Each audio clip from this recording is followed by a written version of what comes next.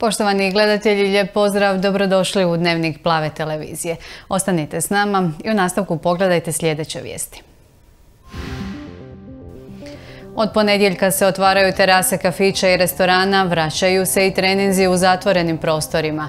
Nova popuštanja najavio je premijer Plenković uz napomenu da se mjere ponovno mogu i postrožiti. Točno je godina dana od pojave prvog slučaja zaraze koronavirusom u Hrvatskoj. O trenutnoj epidemiološkoj situaciji i tome što nas čeka u budućnosti razgovaramo s epidemiologom dr. Miroslavom Venusom. Članovi elitne gardijske postrojbe Tigrova iz Virovitičko-Podravske županije osnovali udrugu. Cilj im je sačuvati sjećanje na ponosne dane.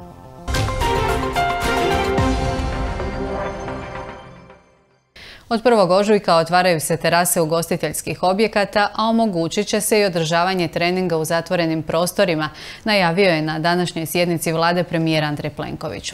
Istaknuo je da je po svim pokazateljima situacija bolja, ali zahtjeva veliki oprez. Plenković je najavio da će nastaviti s odgovarajućim praćenjem gospodarstva i poduzetnika i nastaviti dijalog s predstavnicima gospodarstva, te će nastojati izaći u susret što se tiče mjera očuvanja radnih mjesta. Ja apeliram još jednom na sve da budemo oprezni, da pratimo situaciju u drugim zemljama, trendove u Europi. Imamo nekoliko manjih žarišta u par županija u ovom trenutku. Ne bismo smjeli biti pretjerano e, opušteni, međutim e, u ovom trenutku mislim da je ovo e, ona mjera koja je primjerena okolnostima u kojima se nalazimo. Naravno, ako se situacija pogorša, uvijek se može e, donijeti i e, odluka koja će te mjere učiniti restriktivnijima nego što će biti od 1. ožujka.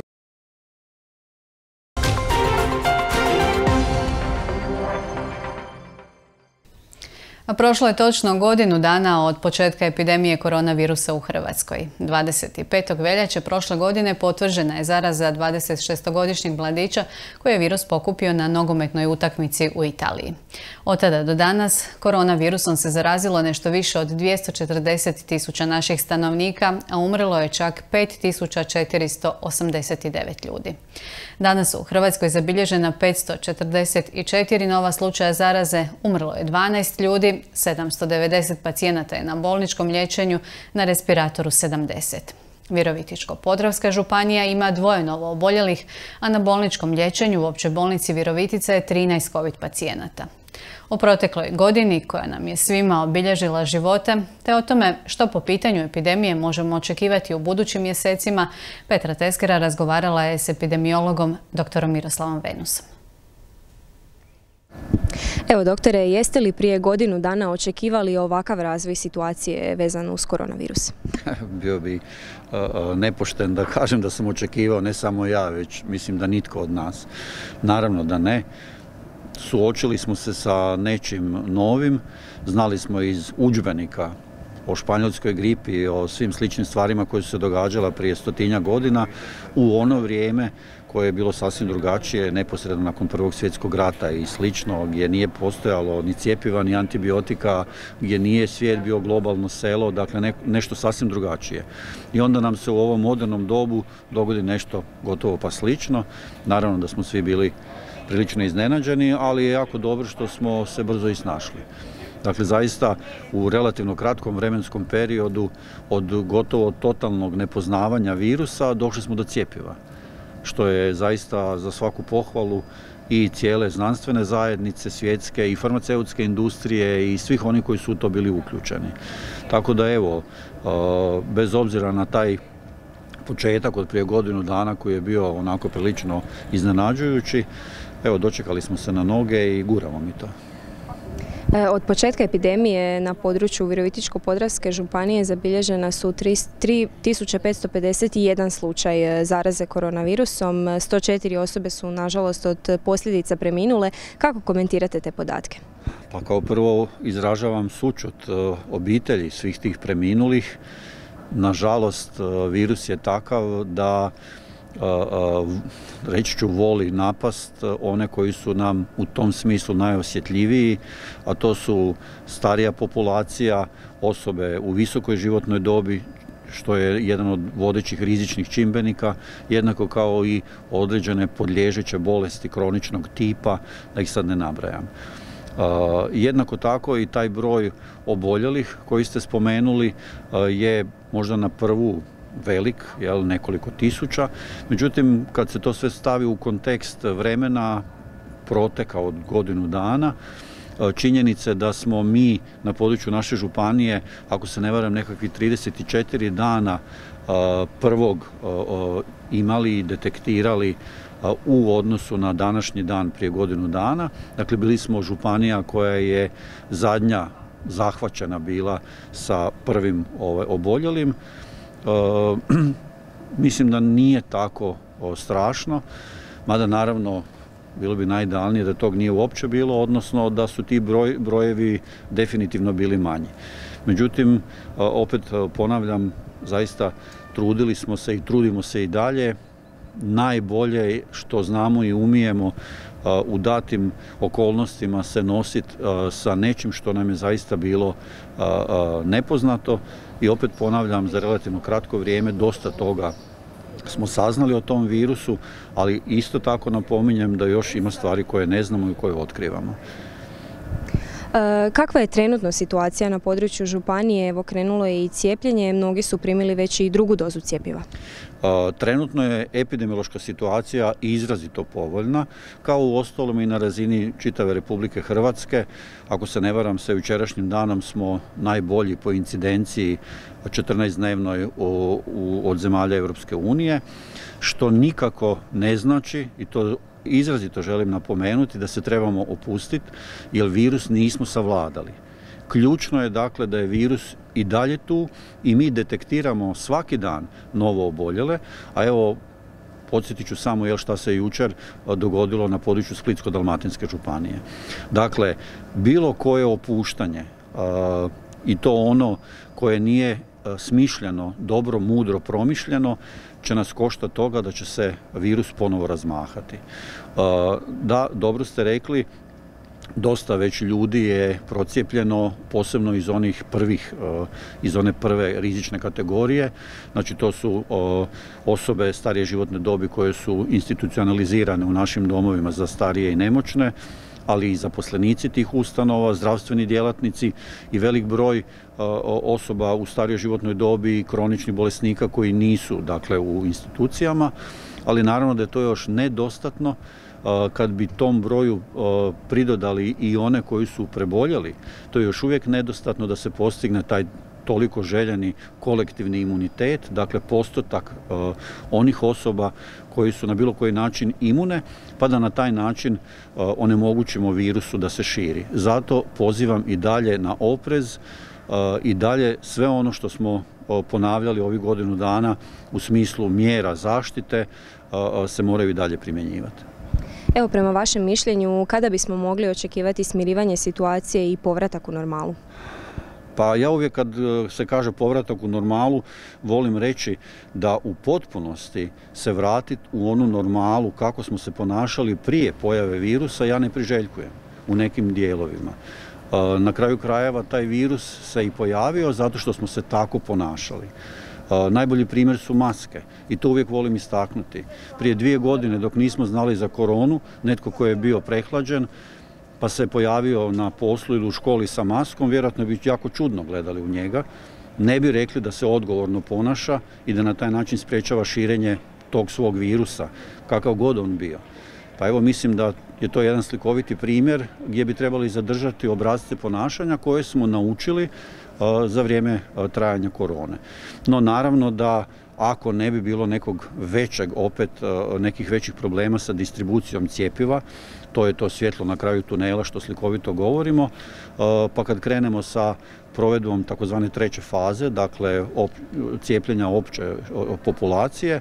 Ja se nadam da bi do ljeta, do ljetnih praznika mogli doseći taj toliko željeni broj procijepljenih, govorim za razinu čitave Republike Hrvatske, pa da evo, bar imamo to ljeto ne samo znači, iz medicinskih, već iz psiholoških, pa ako hoćete i ekonomskih razloga koje nam zaista svima treba. Doktore, hvala vam na ovom razgovoru. Molim lijepo.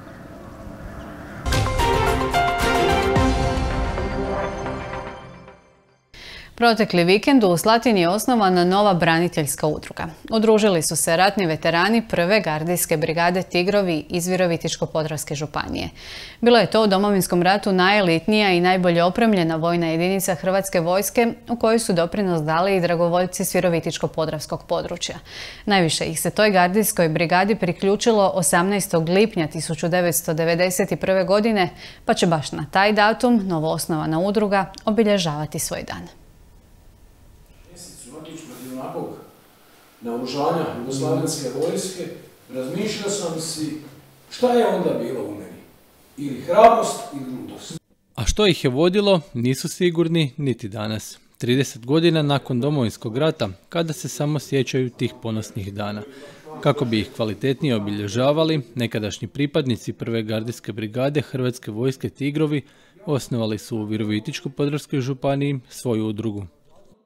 Stvarno puno dragovoljaca odavde, e, znači bez ikakve zadrške se uputilo u prvu brigadu, a prva brigada je stvarno bila isključivo dobrovoljačka i što je jedan kolega rekao, e, mi nismo branili svoju kuću, mi smo branili Hrvatsku. Tada su ju tigrovi branili oružjem, a danas ističu branit će istine o domovinskom ratu i ratnom putu tigrova iz Virovitičko-Podravske županije. Inicijativa za osnivanjem dogodila se spontano prilikom prošlogodišnjeg obilježavanja Dana sjećanja na žrtvu Vukovara.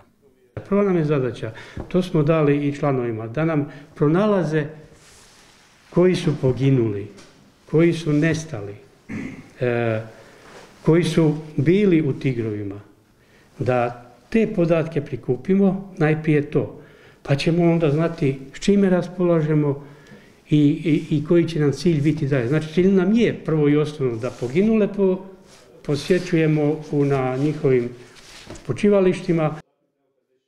Skupili smo se nas nekolicina i pred spomenik poginulim hrvatskim braniteljima smo zapalili lampione i e, poklonili, odnosno položili cvijeće. E, došlo je spontano inicijativu, koliko smo u razgovoru primijetili da u našoj županiji ima dosta pripadnika prve gardijske brigade. Upravo Selenić je bio i sudionik masakra u Borovu selu 2. svibnja 1991. godine, a nedugo nakon toga iz specijalne policije otišao prema Zagrebu i postao pripadnikom Tigrova. Nakon toga jedno desetak dana, nas desetak je prebačeno u Zagreb e, da pomognemo u osnivanju prve gardijske brigade Tigrova. Nas, jedan dio, većinom je osobno ja sam bio e, do zapovjednik satnije pokojnom našem heroju Gavranu Damiru Tomljanoviću, gdje smo onda osnivali, postepeno i primali sve dragovoljce koji su se e, prijavljivali u prvu gardijsku brigadu.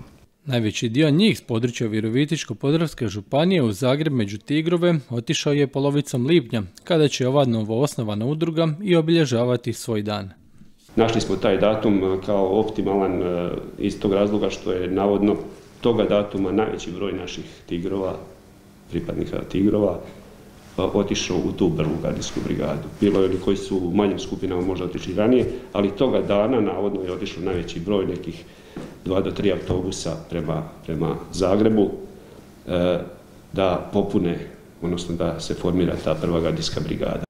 Nažalost, jedan dio njih je tijekom rata poginuo, danas u miru sve ih je manje iz godine u godinu, a jedan tigar s tog područja još se i danas vodi kao nestala osoba. Zbog toga su odlučili da će članom udruge moći postati i danas aktivni tigrovi.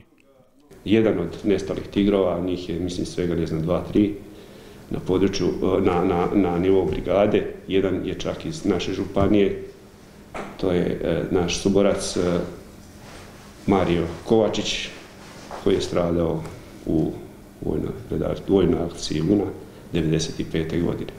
I do dan danas nije našem nađeno njegovo tijelo. Ti mladi koji su danas u, u Tigrovima mogu se priključiti. Mi jesmo znači e, ratni veterani. Recimo mi smo nekakva srž.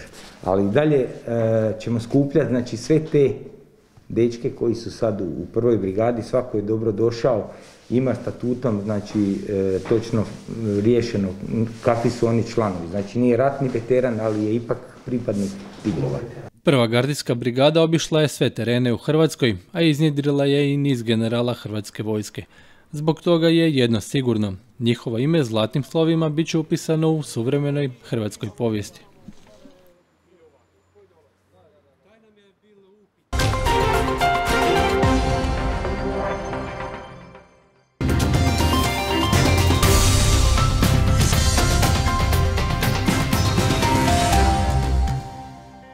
Pogledajmo još i vremensku prognozu. Sutra će biti pretežno sunčano, a ujutro i u dijelu prije podneva mjestimice moguća magla i niski oblaci. Vjetar slab, na Jadranu ponegdje do umjeren sjeverozapadni. Najniža jutarnja temperatura na kopnu će biti od 0 do 5, na Jadranu od 6 do 10, a najviša dnevno uglavnom između 16 i 21 Celsijev stupanj, unutrašnjosti Dalmacije i malo više. Slično kao i prethodnih dana, biometeorološko će prilike biti uglavnom povoljne. Nakon jutra s mogućom maglom unutrašnjosti zemlje danju će biti sunčano i toplije od prosjeka za ovo doba godine. Uz izbjegavanje suvišnih napora te lagane šetnje na otvorenom ne očekuju se tegobe uzrokovane vremenom. Idućih će dana u unutrašnjosti biti umjereno oblačno, povremeno uz povećanu naoblaku, osobito u subotu kad postoji mala vjerojatnost za mjestimičnu slabu kišu. U ponedjeljak će biti sunčanije. Na Jadranu je idućih dana izgledno pretežno sunčano, samo u subotu uz prolaznu umjerenu naoblaku. Zapuhat će umjeren sjeverni i sjeveroistočni vjetar, u gorju s jakim udarima, a na Jadranu umjerena i jaka na udare i olujna bura. Vjetar će tijekom nedjelje slabjeti. Biće manje toplo, osobito na kopnu u nedjelju.